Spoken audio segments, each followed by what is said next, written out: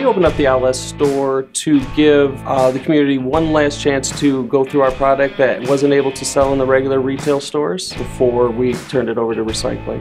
Last year alone, we recycled over 10 million pounds of items. We were able to keep them out of the landfill, whether it be textiles and shoes, and keep out over half a million pounds of e-waste out of our landfill as well. One thing about recycling here at Goodwill when it comes to our electronics is a lot of our electronics that become out of date here, we're able to ship internationally and those same products go to support a lot of local communities all over the world.